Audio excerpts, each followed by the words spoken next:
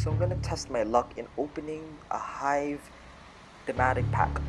Just note that this pack contains 23 of the Hive characters and you can only get two in each pack. With that, I'm actually gonna buy two. Let's see what my luck brings me. It's pretty efficient if you ask me. Compared to new blood, 20 credits and 3 characters, this is 26 credits for 4 cards.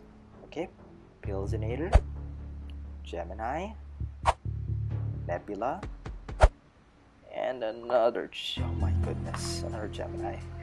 But you know, your luck might be better than mine. But with a thematic pack, you really have to save up on your credits. In Urban Rivals, test your luck, and maybe get some good cards. With that, hope you enjoy and wish you luck in opening some good thematic packs.